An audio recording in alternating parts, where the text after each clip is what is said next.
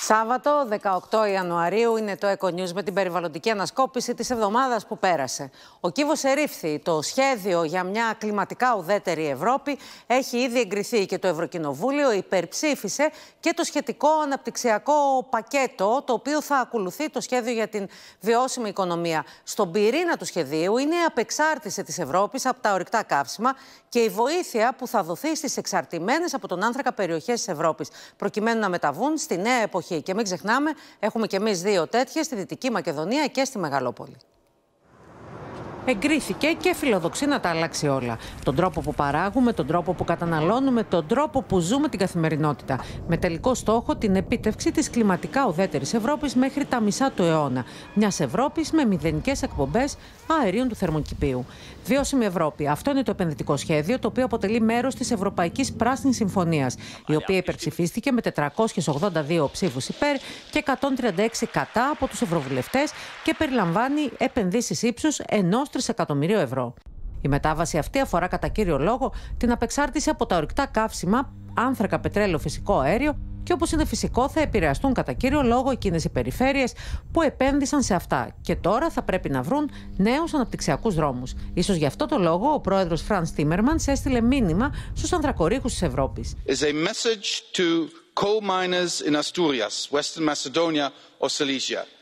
to the peat harvesters in the Irish Midlands, baltic regions reliant on oil shale and many more. we know that you face a steeper path towards climate neutrality and we know that the prospect of a different future a cleaner one might be a welcoming prospect in general but the road to it looks daunting today. this just transition mechanism of at least eur one hundred billion is a pledge that the european union stands with you in this transition. Στην πρώτη φάση, τα κράτη-μέλη θα πρέπει να προσδιορίσουν τις περιοχές όπου θα κατευθυνθούν τα χρήματα. Στην περίπτωση της Ελλάδας θα είναι λογικά η Δυτική Μακεδονία και η Μεγαλόπολη, όπου σύντομα θα ξεκινήσει και η απολιγνητοποίηση. Για να εφαρμοστεί η Πράσινη Συμφωνία, του 1 τρισεκατομμυρίου θα διατεθούν χρηματοδοτήσεις μέσω του Μηχανισμού Δίκαιη Μετάβασης. Οι βασικές πηγές χρημάτων θα είναι τρεις. Το Ταμείο Δίκαιης Μετάβασης θα πρικιστεί με κονδύλια 7,5 δισεκατομμυρίων ευρώ, τα οποία θα συμπληρωθούν με κονδύλια από το Ευρωπαϊκό Ταμείο Περιφερειακής Ανάπτυξης και το Ευρωπαϊκό Κοινωνικό Ταμείο, αλλά και εθνικούς πόρους. Συνολική μόχλευση 30 με 50 δισεκατομμύρια ευρώ. Επίσης, μέσω του InvestEU θα κινητοποιηθούν επενδύσεις ύψους 45 δισεκατομμυρίων ευρώ, ενώ θα επιδιωχθεί και η προσέλκυση ιδιωτικών επενδύσεων συνολικού ύψους 279 δισεκατομμυρίων ευρώ. Τέλος, από την Ευρωπαϊκή Τράπεζα Επενδύσεων θα στηριχθούν επενδύσεις ύψους 25 με 30 δισεκατομμύρια ευρώ, προκειμένου να προχωρήσουν επενδύσεις σε δίκτυα τηλεθέρμανσης και ενεργειακή αναβάθμιση κατοικιών και κτηρίων. And I also would outline the EIB financing, which aims to raise its share to uh, sustainable financing from 25 to 50% by 2025. Putting economic, environmental and social sustainability at the heart of policy requires a change of the mindset We have taken an important step towards achieving this today. Για να εγκριθούν οι χρηματοδοτήσει, θα πρέπει εν λόγω περιφέρειε να έχουν καταρτήσει ολοκληρωμένο αναπτυξιακό πρόγραμμα πράσινη ανάπτυξη μετά από δημόσιο διάλογο, ενώ θα τεθούν καθαροί κανόνες έτσι ώστε όλοι να γνωρίζουν ποιες επενδύσεις είναι πράσιμες και άρα επιλέξιμες. Στόχος της Ευρώπης είναι το πρόγραμμα βιώσιμης ανάπτυξης να εφαρμοστεί χωρίς αποκλεισμούς και διασφαλίζοντας πλήρως τα κοινωνικά δικαιώματα. Αυτά λοιπόν λένε στην Ευρώπη. Θεωρητικά έχουν βάλει το πλαίσιο, έχουν ανακοινώσει ήδη και τις χρηματοδοτήσεις. Εμείς όμως θα πάμε τώρα στην καρδιά ε, του Ενεργειακού Κέντρου της Ελλάδας, στη Δυτική Μακεδονία, στην Κοζάνη, γιατί εκεί θα παιχτεί το παιχνίδι. Εκεί πρέπει να γίνει στην πράξη ενεργειακή μετάβαση. Θα συναντήσουμε μέσω Skype τον ε, Δήμαρχο Κοζάνη, τον κύριο Λάζαρο Μαλούτα. Σας ευχαριστούμε πολύ που είστε σήμερα εδώ. Καλησπέρα σας. Έχετε, ακούσει, έχετε ακούσει καθόλου ε, τι προβλέπετε για την περιοχή σας; Νομίζω ότι έχετε κάνει ήδη και κάποιες συσκέψεις με το Υπουργείο. Θέλω να μου πείτε πώς βλέπετε όλη αυτή την ε, προσπάθεια μετάβασης, ενεργειακής μετάβασης, γιατί θα τα αλλάξει όλα στην περιοχή σας. Ναι. Ε, το βασικό χαρακτηριστικό είναι η αγωνία. Έχουμε αγωνία για το πώς θα εξελιχθούν τα πράγματα στην περιοχή μας, δεδομένου ότι μέσα στην, στην, στα επόμενα 3,5-4 χρόνια θα χαθούν περίπου 8.000 θέσεις εργασίας άμεσες είτε από μόνιμο προσωπικό είτε από έκτατο προσωπικό. Αυτό είναι μια ιδιαίτερα δυσμενής εξέλιξη. Είναι μια εξέλιξη η οποία πραγματικά θα έρθει σαν τσουνάμι στην περιοχή της Δυτικής Μακεδονίας. και βασικά του ενεργειακού άξονα. Mm-hmm. Όπως αντιλαμβάνεστε, ε, απαιτούνται, απαιτείται τεράστια προσπάθεια, απαιτείται συνεργασία τοπικών φορέων και κυβέρνησης, απαιτείται σχέδιο, απαιτούνται πόροι.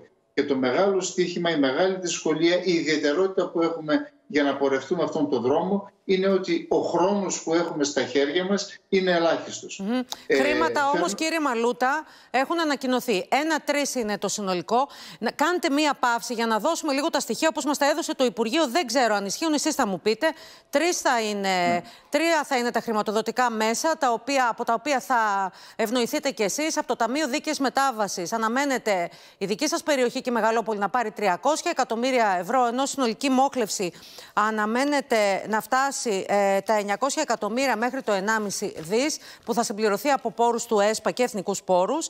Δεύτερος πυλώνας χρηματοδότησης είναι από το ε, InvestEU, όπου από εκεί προβλέπεται 1,8 δισεκατομμύρια ευρώ. Α, και υπάρχει, υπολογίστηκε ότι 73.400 ευρώ θα είναι η αποζημίωση ανεργαζόμενων στα ορυχεία. Ε, σας έλεγα λοιπόν ότι δεύτερος πυλώνας είναι από το InvestEU, όπου θα είναι 1,8 δισεκατομμύρια ευρώ. Ε, και τέλος, ε, από χρηματοδοτήσεις και δανειοδοτήσεις αναμένεται άλλο 1 δις με 1,2 δις συνολικά, επενδύσεις 3,7 με 4,4 δις ευρώ. Αυτά τα νούμερα εσείς πώς τα ακούτε; Ναι, καταρχήν ε, πρέπει να πω ότι δυστυχώς τα νούμερα είναι πολύ πολύ πρόσφατα και δεν είχα την ευκαιρία να τα αναλύσω και εγώ και να τα συζητήσω. Τα νούμερα σε πρώτο χρόνο φαίνονται εντυπωσιακά, αλλά αυτό που πρέπει να ξεκαθαρίσουμε τι από αυτό είναι επιχορήγηση και τι είναι δάνεια. Γιατί τα δάνεια ευπρόσδεκτα είναι και αυτά και διεκδικούμε και πρέπει δάνεια και δανεισμό αλλά πρέπει κάποια στιγμή να αποπληρωθούν. Και αυτά θα αποπληρωθούν, δεν θα αποπληρωθούν από άλλους, αλλά από τους κατοίκους της Δυτικής Μακεδονίας, από τους ανθρώπους που θα ωφεληθούν ενδεχομένως ε, από κάποια έργα. Το σημειώνω αυτό και επανέρχομαι στο προηγούμενο σημείο που είχαμε σταματήσει τη συζήτησή μας, ε, τονίζοντας το εξαιρετικά μικρό χρονικό περιθώριο που υπάρχει προκειμένου να πάρουμε δράσεις. Ενδεικτικά αναφέρω ότι η τηλεθέρμανση Κοζάνης πρέπει να έχει εναλλακτική λύση τροφοδοσίας με θερμότητα σε 3,5 χρόνια.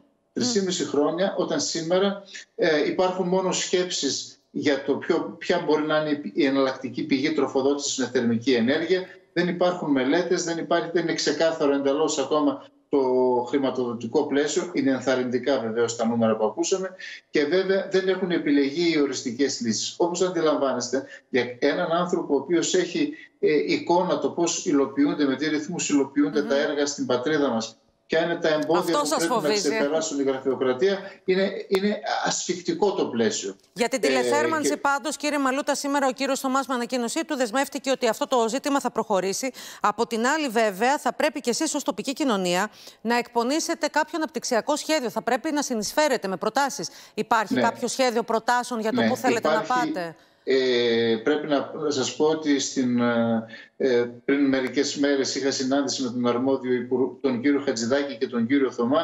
Ήδη τους έδωσα μια, μια πρώτη προσέγγιση στο θέμα. Εμείς έχουμε συστήσει ήδη ομάδα η οποία ε, επεξεργάζεται τα θέματα και βέβαια όπως συμφωνήσαμε με τον ε, κύριο Χατζηδάκη και τον κύριο Θωμά οι προτάσεις της αυτοδιοίκησης, οι προτάσεις των Δήμων θα κατατεθούν στη Διυπουργική Επιτροπή που συνεδρίασε χθες για το συγκεκριμένο θέμα, ούτως ώστε να περιληφθούν στο master plan, να αξιολογηθούν καταρχήν και να περιληφθούν στο master plan, ώστε να μπορέσουν να περπατήσουν και να πάνε ένα βήμα παραπάνω. Κύριε Μαλούτα, μπορείτε να μας αποκαλύψετε κάποιες από τις προτάσεις σας, δηλαδή πώς σκέφτεστε να πάτε την επόμενη μέρα, εφόσον δεν θα ε. υπάρχει λιγνίτης. Η ΔΕΗ επίσης είναι υποχρεωμένη να αποκαταστήσει το περιβάλλον στα ορία όσο μπορεί να αποκατασταθεί. Εσείς Ποιες σκέψεις έχετε, προς τα πού βλέπετε την ανάπτυξη στην περιοχή σας; Ναι, καταρχήν ε, είναι προφανές το ότι είμαστε σε μια περιοχή η οποία έχει ένα ενεργειακό παρελθόν και εμείς θέλουμε ε, σε κάθε περίπτωση ο τόπος μας να συνεχίσει να έχει αυτόν τον ενεργειακό χαρακτήρα. Με την έννοια αυτή είναι καλοδεχούμενες οι επενδύσεις ό,τι αφορά τις ανανεώσιμες πηγές ενέργειας παρόλο που αυτές δεν προσφέρουν θέσεις εργασίας αλλά βρίσκονται σε εξέλιξη αρκετές τέτοιες επενδύσεις. Ε, ήδη έχω διατυπώσει δημόσια μία πρόταση που αφορά την κυκλική οικονομία και τη δημιουργία ενός πάρκου κυκλικής οικονομίας στην περιοχή, που είναι άλλος ένας τομέας αιχμή. Και επιλέξιμος ε, για χρηματοδότηση από την Ευρώπη. Και, και επιλέξιμος για χρηματοδότηση. Ε, προσδοκούμε να προσελκύσουμε επενδύσεις σε τομείς με προοπτική, σε τομείς με, ε, ε που έχουν υψηλής τεχνολογίας. Και... Ε, η, η, ένα, ένα, μια κατεύθυνση είναι οι συσσωρευτές, mm. άλλη μια κατεύθυνση είναι η διαχείριση των big data, mm. ε, τομείς δηλαδή οι οποίοι έχουν Κέντρα καινοτομίας δηλαδή. Κέντρα καινοτομίας τα οποία και αυτά και προβλέπονται. Ε, προ, ε, επιδιώκουμε ε, να δημιουργήσουμε στην περιοχή ένα, να δημιουργηθεί στην περιοχή μας ένας πόλος ε, για το περιβάλλον, την ενέργεια και την κλιματική αλλαγή δεδομένου ότι υπάρχει μια προϊστορία από έργα και μελέτες στην κατεύθυνση αυτή και υπάρχουν και νέες προτάσεις. Αυτό το σχέδιο είναι χείρισα mm. από χθες στον κύριο Χατζηδάκη και στον κύριο Θωμά. Πολύ και βέβαια εμείς το επόμενο διάστημα πέρα από την ε, ε, συζήτηση που θα έχουμε στο Δημοτικό Συμβούλιο θα καταθέσουμε δημόσια Για να καταλήξετε.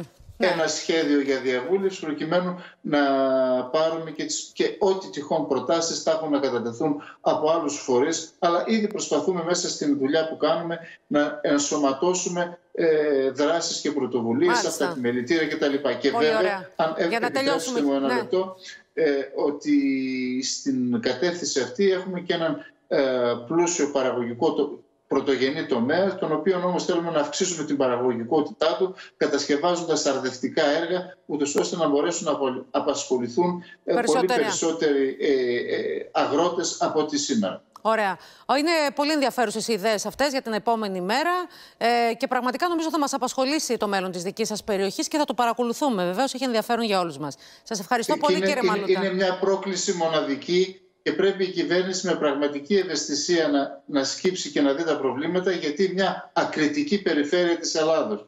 Μια περιφέρεια η οποία συνεισέφερε τόσα Πάρα πολλά, πολλά. στον εξηλεκτρισμό της πατρίδας μας να, ε, να κινδυνεύσει, να ερημωθεί γιατί αυτό θα είναι το μέλλον αν δεν Ωραία. πάρθουν άμεσα μέτρα να ερημώσει η Δυτική Μακεδονία. Άγινε. Κύριε Μαλούτα, σας ευχαριστώ πάρα πολύ. Να είστε καλά. Και εγώ Ε, σας τι- ευχαριστώ. την